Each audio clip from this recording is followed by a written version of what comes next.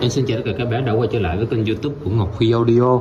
Thì uh, như những cái đợt trước thì em có giới thiệu cho các bác những cái mặt phân tầng thì uh, có một số anh em gọi điện cho em hỏi là những cái mặt phân tầng như là AB502, AB503 Thì uh, nó có thể truyền tải được những cái loại lo nào? Thì những cái clip đó có nói kỹ nhưng mà một số anh em thì cũng chưa có uh, trải nghiệm qua. Thì ở đây em uh, sẽ giới thiệu sơ lại cái mạch này cũng như là em uh, sẽ test trực tiếp về cái mẫu mạch phân tầng AB502 và cái cấu hình loa sẽ là hai đường tiếng một bass và một chép thì ở đây em cũng đã có đấu sẵn là một bát 20 nè và một cái con lo chép. Thì à, em sẽ giới thiệu chi tiết từng cái sản phẩm mà em à, làm clip ngày hôm nay để cho anh em có thể tham khảo cũng như là nếu mà anh em muốn đóng thùng thì à, em sẽ báo giá từng loại để cho anh em à, tham khảo để về đóng thùng cho những cái dàn nghe nhạc của mình. Thì à, mặt AB502 là một cái mạch phân tầng à, sử dụng à, cho à, cấu hình loa sẽ là một bát và một chép và sử dụng tốt từ cái lo bass 30 đổ về. Thì em em test lo bass 20 thì uh, những cái lo bát nhỏ hơn vẫn sử dụng được cái mặt phân tầng này. Tối đa của nó nhất sẽ là từ bát 30 đổ về. Thì uh, trên mặt sẽ có hai cái cuộn đồng hai cái con tụ và một cái cầu chì chống cháy. Đấy sử dụng mạch này thứ nhất là về cái phân chia tần số cũng như nó sẽ tách bạch từng giải và sẽ bảo vệ cho cái chiếc lo của mình nó lâu dài hơn để tăng cái tuổi thọ cho lo. Thì cái đường bát sẽ có dấu cộng và dấu trừ. Thì đối với cái mặt này khi các bác mua á thì bên em à, sẽ hàng dây sẵn như thế này đây hàng dây đoạn dây sẵn như thế này để cho các bác về chỉ có việc đấu vào loa thôi à, là có thể sử dụng để không có cần phải tìm dây à, để hàng vô. Thì à, đây đấu sẵn là bass chép và đường input thì đối với cái đường input này thì các bác có thể đấu vào sau cái cọc loa trong thùng hoặc là nếu mà các bác lắp rời ví dụ em đang test ở đây thì đã cắm sẵn vào trực tiếp âm ly luôn. Đấy thì em sẽ test. Thì nếu mà các bác quan tâm về cái mặt phương tường AB02 thì một cặp sẽ là 430.000 thì bên em à, sẽ hỗ trợ cho anh em là hàng dây sẵn. Và cái con loa chép mà ngày hôm nay em đang test cái cấu hình loa một bass và một chép như thế này thì cái con loa chép em à, test uh, là con loa chép B8802 đây trở kháng của nó sẽ là 8 ohm.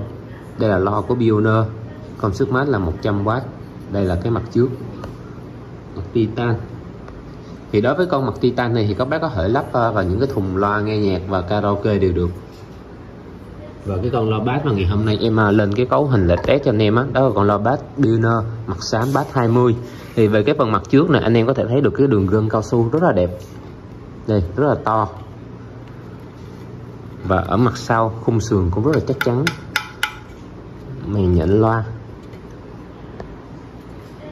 Đấy, cái cầu loa ở đây và cái con à, loa này để em sẽ bắt nét lại.